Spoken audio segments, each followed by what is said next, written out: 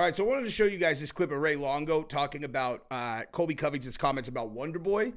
And then I also wanted to show you a clip of Bryce Mitchell, but I like this this clip right here talking where, where Colby's talking about Wonder Boy is very, very telling, right?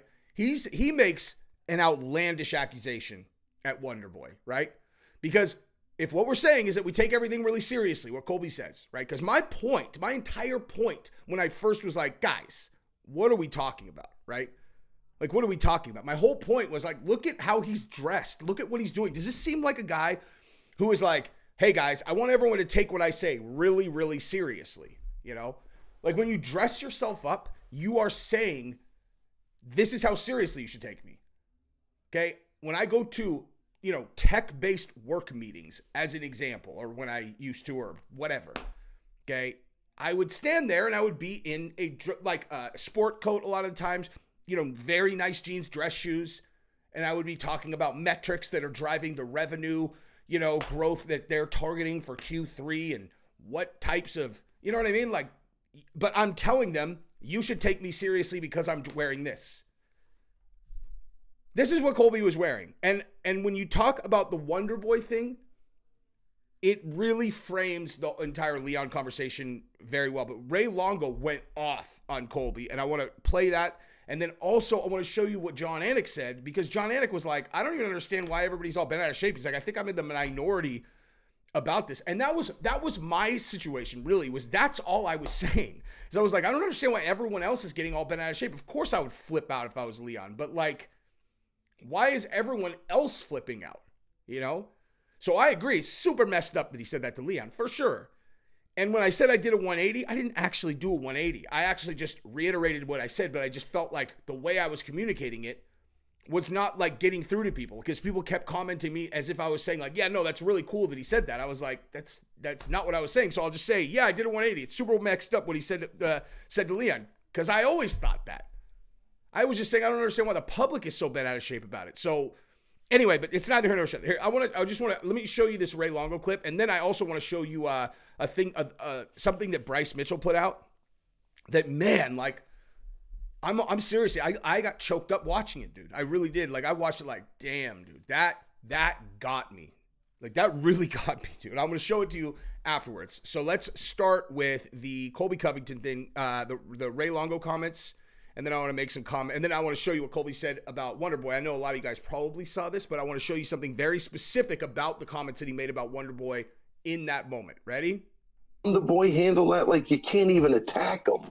That's yeah. how nice the guy is. He's up there and he's smiling, but you know he's calling the guy a file. This guy's a piece of shit. You know, calls Wonder Boy a file. Wonder Boy is doing something. At least he gives back to the community. Colby, you suck in the life out of the community. You're just a, like a yeah. leech. So also, I just want to say this: like the way the way that I would discuss this with anyone completely depends on who I'm talking to. But I wouldn't change my position. It's just about how I would discuss it with said person. Ray Longo is not a guy I'm going to argue with, dude. You know what I mean? I'm not going to argue with this guy. He's super fucking scary. And I'm not going to change his fucking mind either. You know? But it, it really honestly has to do with how they interpret it anyway. And so like I can say 100% honest comments to him without without uh, shedding my you know shedding my authenticity because nothing that he's saying is wrong exactly. It's just about how angry it should make me. You know what I mean? On society, you know what I mean? And now you're attacking this guy. It's just I don't it's just too much for me. I don't care for it. And man, talk about karma. Because what a piece of shit that fight was. I mean, the guy did absolutely nothing. And uh, yeah, I mean, to be able to take a pro Colby crowd and by the end of the fight have the crowd against you, good luck, my man. I hope it was worth the that was pretty rough. Money, the extra 25% or whatever down. I hope it was worth it for you because, Darren, I, I've been around a long time. I can promise you. This was on Anik and Florian's show on DraftKings, by the way. You that you will regret a lot of shit for the rest of your life. You know, uh, I think he cost Trump the election. How's that? Yeah, well, but Mr. President, and Mr. President is here to watch me. I got okay, hang on. So I want to see. I want to find the actual clip of Colby talking to Wonder Boy, which was man. I I guess it's not right here, but I want to show you this right here.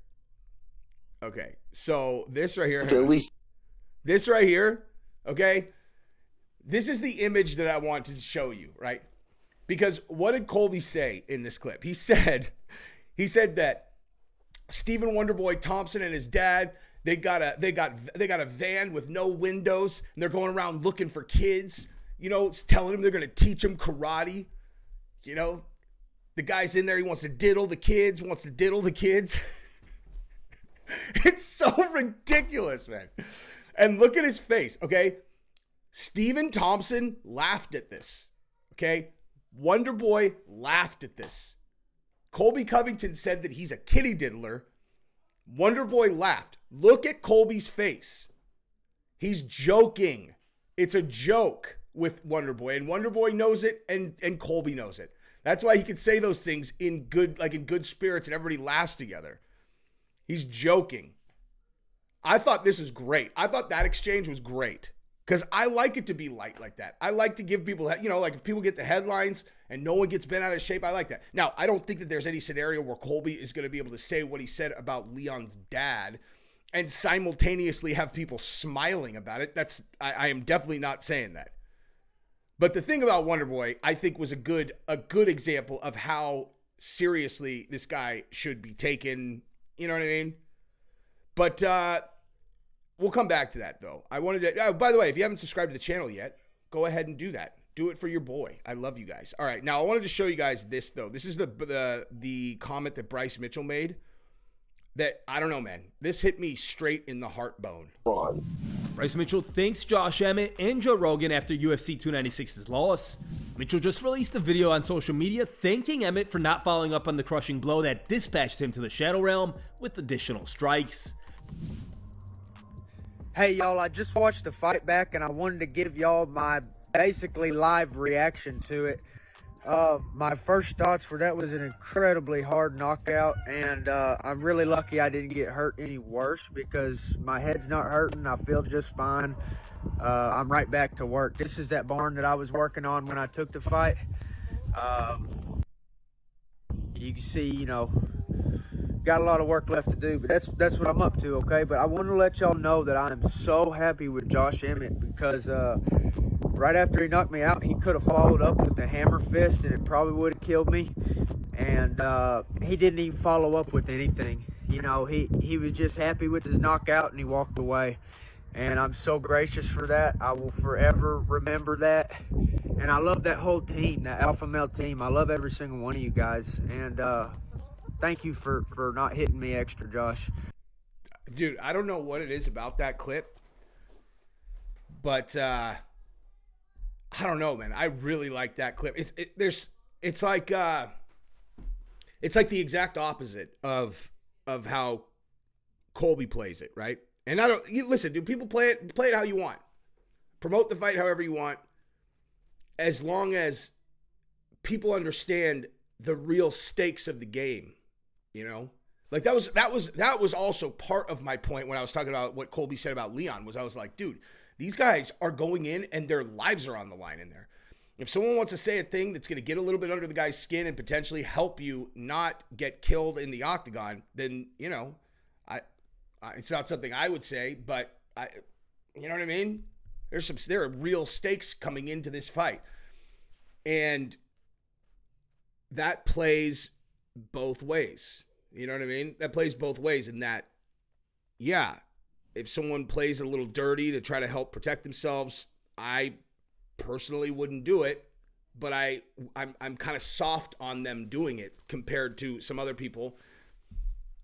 But on the and on the other side, when someone takes a devastating knockout like that, and you know these are fighters, man, like they've got a lot of pride, dude. Like there's a lot of pride there. Losing a fight is fucking hard, dude. It's really hard.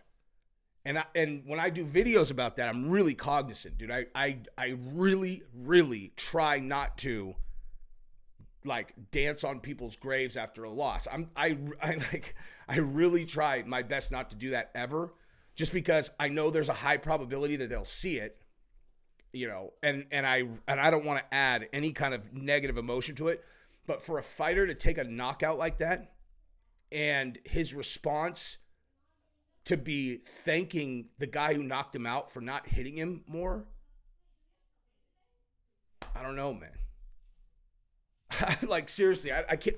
It's really weird. I actually messaged Bryce about that. I'm like, I can't even really put my finger on why, like, why that just like was like an arrow into the heart, you know. But it was. So I'm like, damn, dude.